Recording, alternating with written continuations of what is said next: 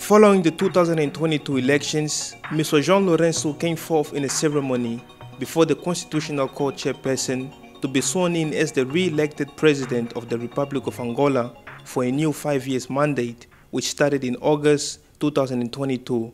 As eleições não são cheques em branco do povo para os vencedores. Não são. Aproveito, pois, esta sublime oportunidade para me dirigir a si, Senhor Presidente da República, porque pelas mais altas funções ao serviço do Estado e da nação, será sua, em primeiro lugar, a responsabilidade de garantir a preservação e a manutenção do nosso contrato social. Não sendo as eleições um fim em si mesmo, é imperiosa a compreensão de que a democracia se deve expressar, sobretudo, na ação consequente e responsável daqueles que as vencem. Deste modo, estes devem considerar-se sempre e, antes de tudo, verdadeiros servidores públicos em escrupuloso respeito pela Constituição da República, pelas leis vigentes, pelo programa eleitoralmente amparado e pelos superiores interesses da nação. Among the Angolan citizens rose many expectations. People awaited from him with full observation and scrupulous compliance with the Constitution of the Republic. Judging from his governing policy as the President of the Republic, associated as well with unnumbered unconstitutional acts carried out by his assistants, any keen observer shall at the end find himself easily compelled to discover several severe cases of constitutional abuse and violations. Such behavior contrasts with the undertaking of that he had previously assumed to consider à la lettre. Ao tomar posse do cargo de Presidente da República, juro por minha honra desempenhar com dedicação as funções de que sou investido, cumprir e fazer cumprir a Constituição da República e as leis do país, a unidade da nação e a integridade territorial do país, defender a paz e a democracia e promover a estabilidade e o bem-estar e o progresso social de todos os angolanos. The excessive grabbing and concentration of powers upon himself, a double standard that has caused irremediable dysfunction of the state structures, has inflicted severe crises and suffering on the Angolan people. Entitled to stand as the custodian of the executive powers, Mr. Jean Lorenzo came to reveal his real face, applying his bad character as he is acting in the unique way of serving the interest of his restricted personal caste. Seja o presidente de todos nós, dos que votaram em si, dos que não votaram em si, dos que votaram em ninguém e dos que não votaram. Quem é da oposição não tem direito ao emprego. Tem direito ao emprego, pode chegar até um certo nível, pode ser diretor, mas é evidente que não será ministro, não será vice-presidente e muito menos presidente. The Constitution of the Republic that Mr. João Lourenço swore to observe and respect contains within it Article 129, which provides, amongst many other acts, the one that enshrines the principle of the impeachment of the President of the Republic, clearly stating that the incumbent may be removed from office by the will of the people through two thirds of the majority of the National Assembly representatives. That, in any case, has to happen when and if this one, the President of the Republic, commits serious offenses, example, bribery and outrageous crimes against the Constitution of the Republic, affecting the normal functioning of the democracy and the rule of law, as well as disrupting the regular structures of the institutions. E como saberão qual é a vontade do povo neste assunto?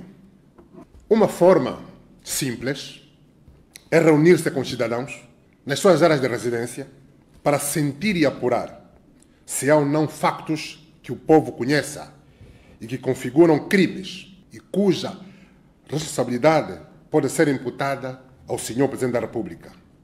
Um guião possível é o seguinte: há ou não interferência do Presidente da República no regular funcionamento das instituições da República, ou instituições do Estado? Há interferência do Presidente da República nos tribunais da República? as sentenças dos tribunais exprimem sempre a vontade do povo ou a vontade do Presidente da República? De que modo? Quais são as provas? Há interferência do partido no poder no regular funcionamento das instituições do Estado? Como? Esta interferência é feita nos moldes previstos na Constituição? E quem é que dirige o partido no poder? O Estado angolano funciona realmente como um Estado democrático de direito? Ou funciona mais como um Estado partidário ou partido-Estado? Podemos citar alguns exemplos? Se o Presidente da República é o chefe de Estado, por que razão permite que o Estado se subordine ou se confunda com o partido político?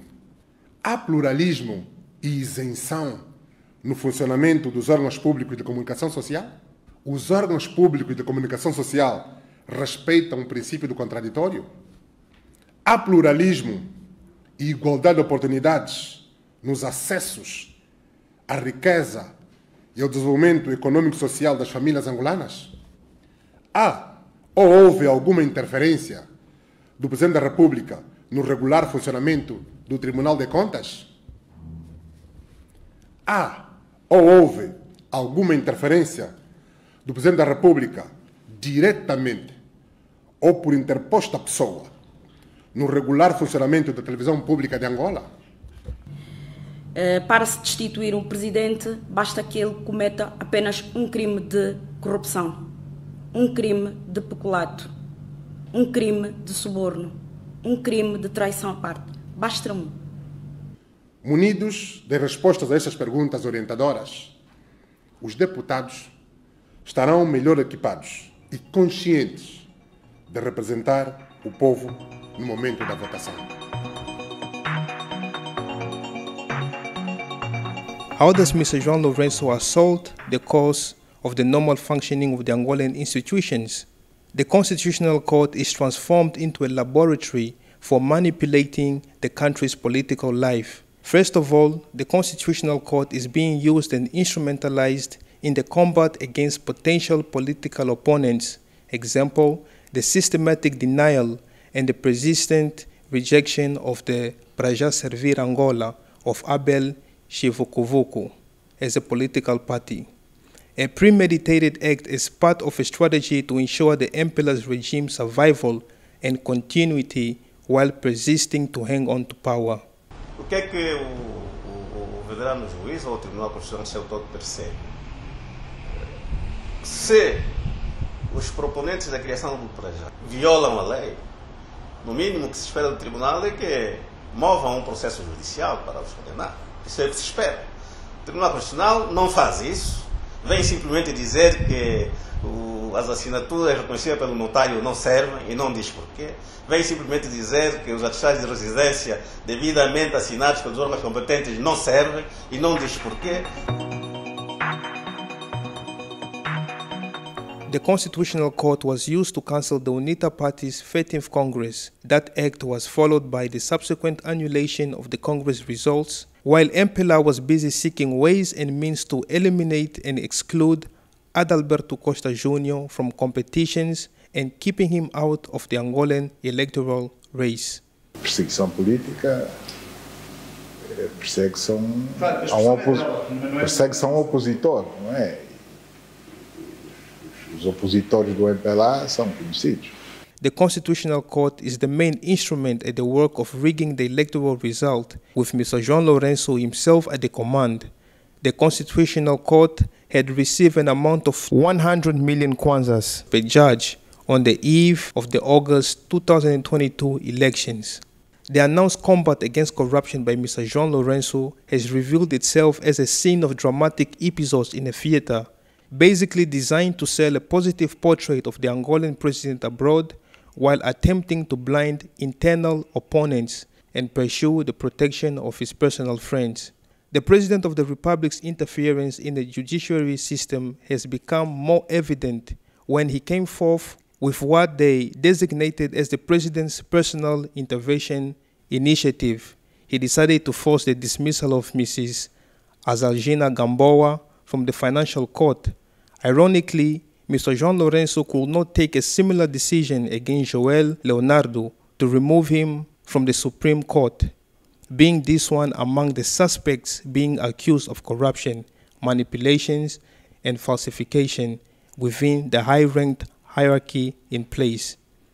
The President of the Republic's interference extends itself to the legislative power, having prevented the National Assembly, an independent body, to enjoy financial autonomy the Angolan National Assembly became structurally subjected to depend on the Ministry of Finance, which is attached under the President of the Republic auxiliaries.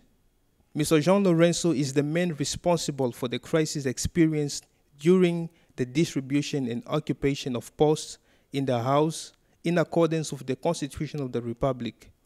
The board shall always clearly be composed as relatively and proportionally specified by the electoral result, in this case, the 2022 outcome. The MPLA shamefully attempted to deny UNITA the right to occupy the chairs of the second vice chairperson and of the second secretary. O grupo parlamentar da UNITA exige, pelas razões acima levantadas, a demissão do governador do Banco Nacional de Angola, do responsável da unidade de, de informação financeira do BNA e pretende que seja realizada uma comissão parlamentar de inquérito ao Banco Nacional de Angola, ao Ministério das Finanças, para se determinar as conexões fraudulentas com os órgãos auxiliares do Presidente da República. Mr. John Lourenço did prevent the UNITA legislative initiatives demanding the establishment and the subsequent composition of a parliamentary inquiry commissions aimed to clarify certain executive tasks as provided by law. At the time, it became so clear that the referred initiative could monitor and shed light, check and balance, which would have detected dark spots and brought solutions to many key problems entangled within the government institutions. Until now, the government is desperately striving to find solutions capable of bringing about satisfaction and restoring hope to the Angolan people, being them the sovereign and the genuine custodian of power. The police, as a national corporation designed for law and order maintenance, has become, under Mr. João Lourenço's direct command, an instrument of repression, having repeatedly prevented public servants, such as members of parliaments and people, to conduct their duties and activities within the communities. It happens while certain officials try to investigate crimes and abuse perpetrated by high ranked government officials. Nevertheless, under the so called Supreme Order issued by the Commander in Chief, used to systematically violate the status of immunity of members of parliament, seizing the members of parliament during the exercise of their duties in direct violation of Article 150 of the Constitution of the Republic. As the President of the Republic, Mr. João Lourenço is driving the country into astronomical depths beyond the country's capacity, far beyond the limits, overpassing 60% of the eternal production and constantly crashing against the principles of a sustainable state global budget. De acordo com dados da execução financeira do Orçamento Geral do Estado 2021, houve nesse ano um saldo orçamental positivo de 1,8 bilhões de kwanzas equivalente na época a 3 mil milhões de dólares americanos. Em 2022, ano eleitoral, contra um preço médio de referência de 59 dólares americanos por barril, registrou-se, de acordo com dados da execução financeira do Orçamento Geral do Estado de 2022, o preço médio efetivo de 100,8 dólares por barril. O resultado ainda de acordo com os dados da execução financeira de 2022, deram um superávit orçamental de 1,5 bilhões de kwanzas, equivalente a 3,3 mil milhões de dólares americanos ao câmbio médio do referido ano. Somados os dois saldos orçamentais, portanto, o governo deve explicar a todos nós o destino dado a mais de 6,3 mil milhões de dólares americanos de excedente. Onde é que foi aplicado esse dinheiro? Foi na campanha do MPLA? Foi na compra da consciência dos angolanos? Foi na corrupção dos governantes? Foi no saque a favor dos novos ricos? The excessively acquired debt does not by any way improve the national production, nor does it reflect any development in the main infrastructures which could impact the lives of Angolans, a reality that is dumping the country into unsustainability. O excesso de endividamento externo que se registrou em 2021 corresponde a 11 mil milhões de kwanzas, equivalentes a metade do valor de todo o orçamento aprovado pela Assembleia Nacional. Mr. John Lorenzo is taking advantage of his position and misuses the entrusted powers to assist his group in illicit enrichment. He does not advertise any tender as expected in a free market competition policy. Terms of the contracts are sealed out of public hiring. The state projects, loans, and credits are being directly distributed by the so called simplified acquisition method, whose criteria are not published.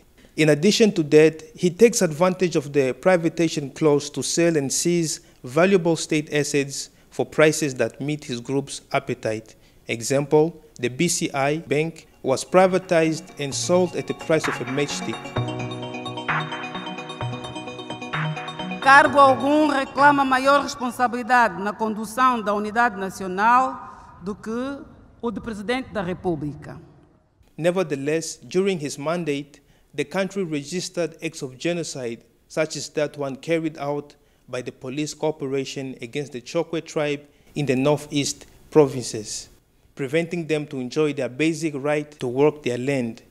Having resolved to complain and vindicate by peaceful means and demonstrations as entitled by law, they were brutally massacred.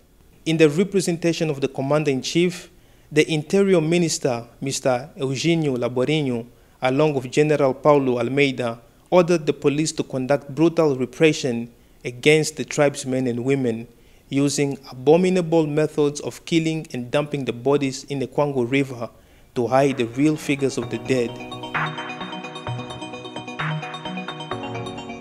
O povo, o Senhor e soberano de todos nós, o original titular da soberania e do poder, que hoje lhe foi conferido, Senhor Presidente, expressou ainda que o Senhor Presidente jamais deverá consentir que o mero império da força prevaleça sobre o império da justiça.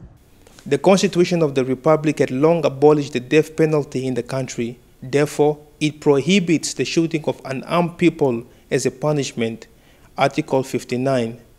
Contrary to that, on the ground, the death squadrons are still conducting summary executions, killing peddlers, young people, etc. Polícia matou uma senhora. Como? A vítima, Juliana Cafrique, deixou três filhos. O último, um bebê de quatro meses. Even when those deaths happen in unlawful situations, the perpetrators are not accountable for, nor charged with the crimes. At the end of the day, neither the local commander nor the Home Affairs Minister or the Supreme Commander do resign as they go against the law.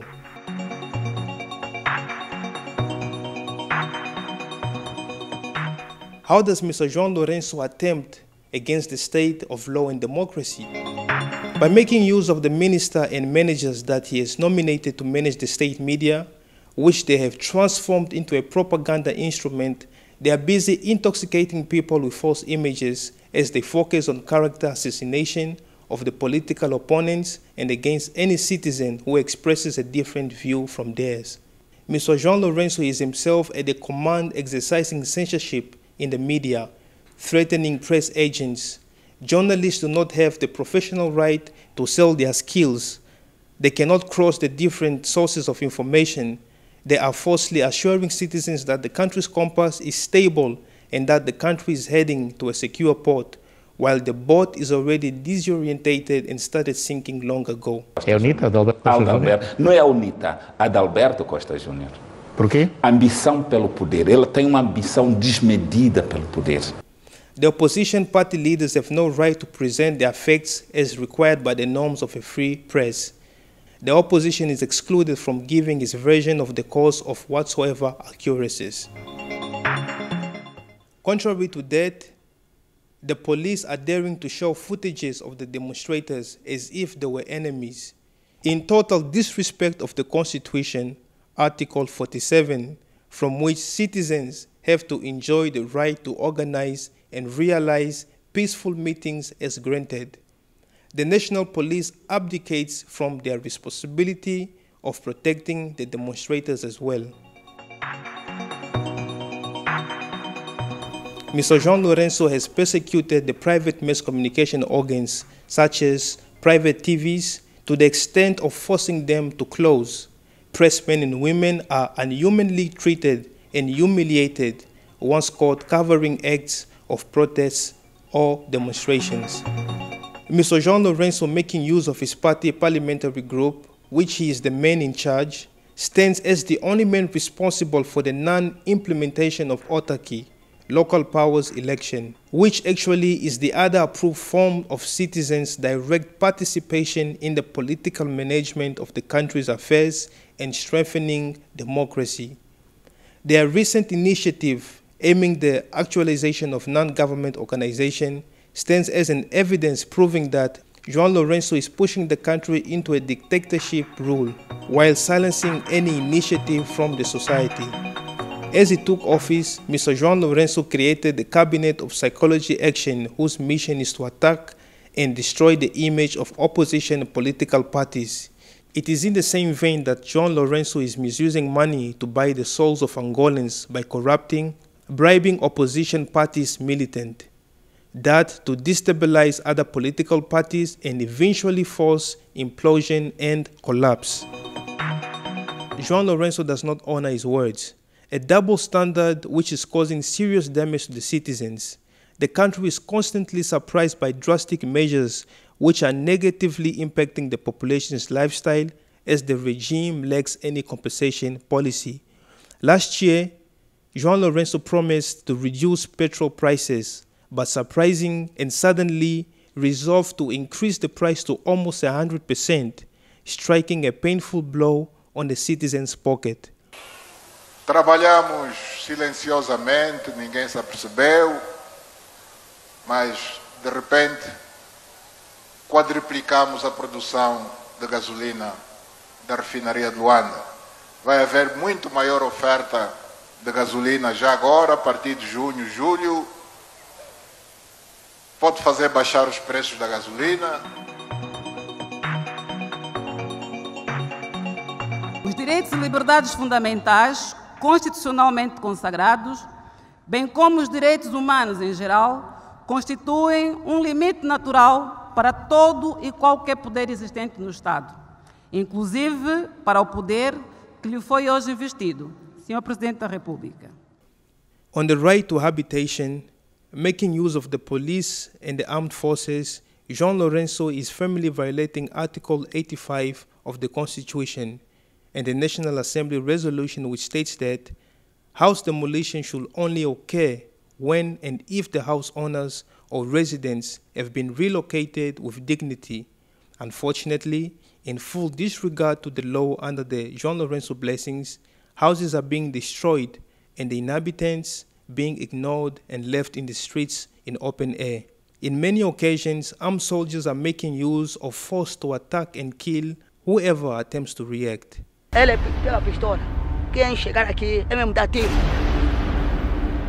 Mesmo tô cansada. Isso não se faz com ninguém. Cadê o meu direito de criança? Cadê o meu direito de moradia? Eu sou estudante, mas nem sei se tem um futuro nesse país. Será que João Lourenço não se sente mal? Ver as pessoas fugirem do próprio país onde nasceram. Ver as pessoas se formarem fora. Para saúde já não temos nada.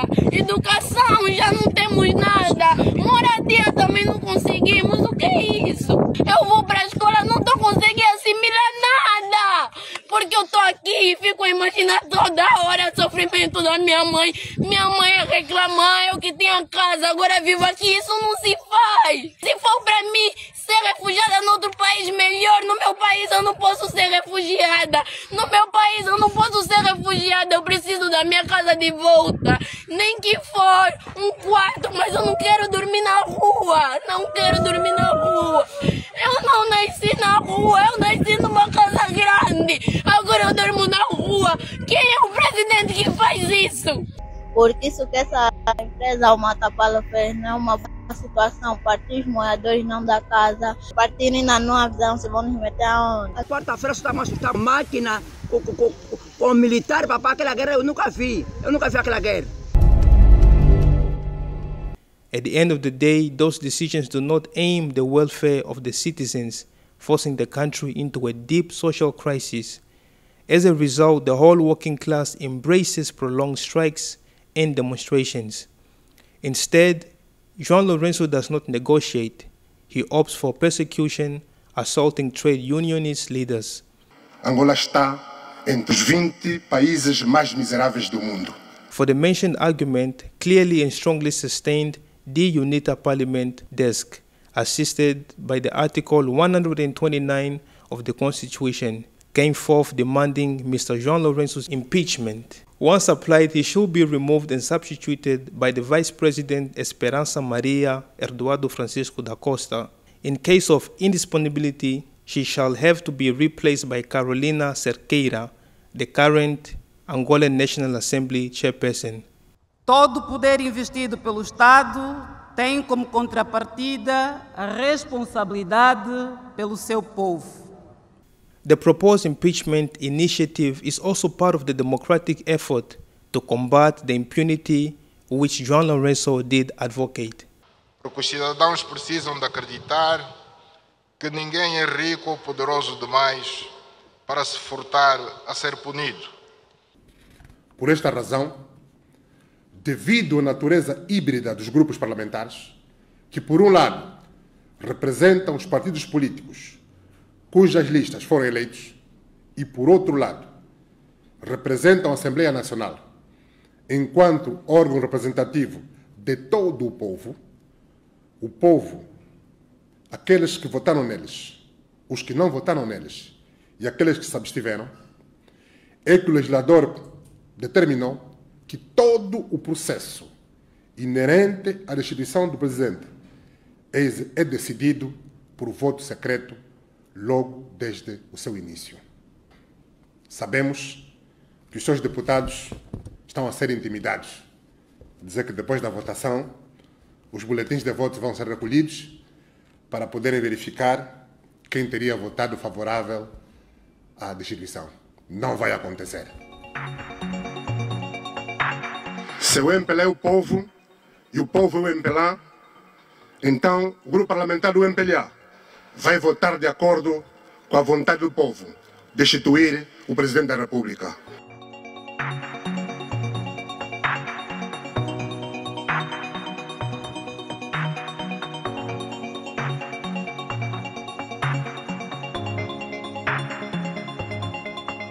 Juramos cumprir e fazer cumprir a Constituição e as leis. De 73 assinaturas que Constituição manda, determina que seja o mínimo, ultrapassamos largamente esta margem. Feita esta assinatura, formalmente estão reunidas as condições legais para os deputados da nação darem início ao processo de destituição do senhor presidente da República. Tenho a certeza de que sobrará um forte aviso aos governantes sobrará uma moral ao cidadão que futuramente se sentar no cadeirão do Presidente da República.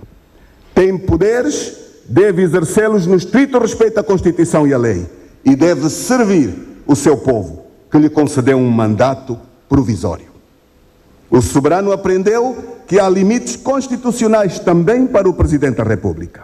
Estes limites estão na Constituição para a proteção dos seus interesses de que não devem abrir mão, para que governantes incompetentes e ardilosos e imorais se possam apropriar deles e os sujeitem a uma, uma vida indigna, como é aquela que nós temos testemunhado. É assim que se formata uma sociedade livre e consciente. É assim que se desenvolve o país.